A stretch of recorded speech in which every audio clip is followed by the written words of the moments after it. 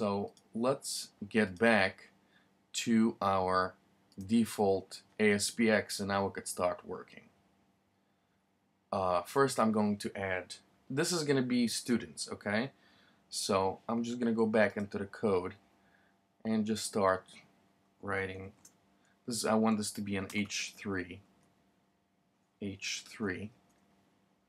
Okay. And let's go back to the design and you know what? Let's do a BR right here. A break, a line break. Okay. So now we can go back to the design. Students. Oops. Well, as you can see, I'm using a Macintosh, and this is a VM machine, but that's fine. Okay, so let's add a, um, let us add first name. Okay. And add a text box. And uh, source. Go back to the source, and we're gonna call this txt bx student students first. Okay. And let's add name and then hey what the heck not? Okay next. So design. We're gonna need to do a, a BR then we're gonna do last last name. Oops. Sorry for the typos. And let's just add a semicolon here. Drag another text box onto there. And let's go to the source and call it tx, txt bx student students last last name so giving IDs to your text boxes is essential, as you will see later on in this tutorial. Let's go back to the design. And the next thing we're going to need to add is a uh, uh, teacher's name.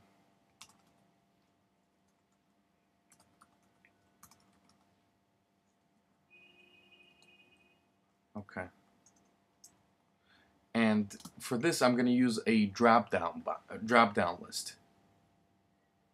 Okay. And again, I'm going to have to give it an ID. DDL teacher's full name. Okay. Go back to the design and click on the arrow right next to the drop down list and we're going to choose a data source. A new data source. This is going to be an object data source. You know what? Right before that cancel. Let's just rebuild the website because I put in an SXD there and I added a whole bunch of methods so again choose object data source choose new data source again, this is going to be an object, and that's the way we're going to connect to our SXD. To actually teachers object data source. Okay. And we're going to go to the teachers adapter next. And okay, finish and which field that we're going to be displaying. Select that field to display and we're going to choose full name and select the value which is going to be the full name as well and click on OK and we are good here and uh, the next thing is we're we're going to add a a button an ASP button to add it. Okay. And again we're going to need to give this button an ID the button ID is btn add student.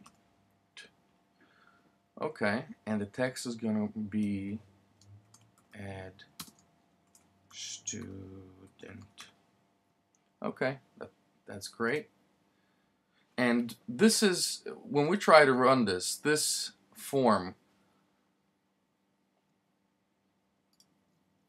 this form will not do anything because we didn't tell it to do anything yet. See, this form does nothing. Not only that, the drop-down has nothing in there because we didn't add any teachers. What we need to do is get into the code behind. And we need to do is double click on the button because this is going to happen in the button event. Okay, great. So this is this is gonna all happen and once we click on the button we want that student information to be added.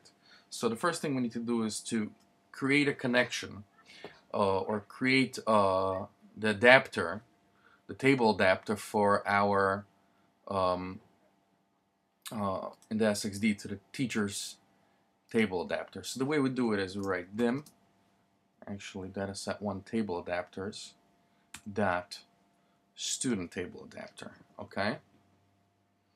And then we're gonna say stu student table adapt students adapter dot insert. And we open a parentheses and we need to give the first name a string last name a string teacher as string and as integer as you can see is the is gonna we don't need to give the ID because the ID will be added automatically. So the first name is for as we start writing first name equals okay txt bx students txt bx students first name that text and that's very important. Okay. Then we do comma and we'll do last name equals txtbx last name student's last name dot text. Okay. Comma space teacher and right away added the teacher teacher equals ddl teacher's full name dot text okay and then we could close off the parentheses and now, when we run this, we should be able to add a student. Okay, you know what? Before I even run this, I'm going to do one more thing. I'm going to add a label. I'm going to add a label, space, to confirm that the student was able uh, was added. And this is label again LBL student added. Okay and I'm gonna take out the text text value out and I'm gonna go back to the VB of this page. And there it is. Let me just drag it over here so it'll be simpler and right after that I'm gonna say I'm gonna say L bl student added that text equals in double quotes exclamation marks to make sure that this to give a confirmation that this went smoothly. So let's run this. Okay. First name Baruch last name Cyper teacher we can't choose yet because there are no teachers. Remember, this is a drop down of all the teachers when haven't added any. So we will be able to modify this later on, modify this student later on. So let's click on add student and see what happens. Yes, student added successfully. That's great. And the way we do it, we just double click on the database, database MDF. And let's take a look at the students. Right click, show table data. Okay. Okay, so we see that one record, student ID is 1, Baruch Cyper, teacher is nothing. But there's a difference between null and nothing. Something was added, it was just nothing. And now there's a difference between that, and we may get to that once upon a while. Thank you for watching, and stay tuned for part 3, where we're going to add a form for teachers.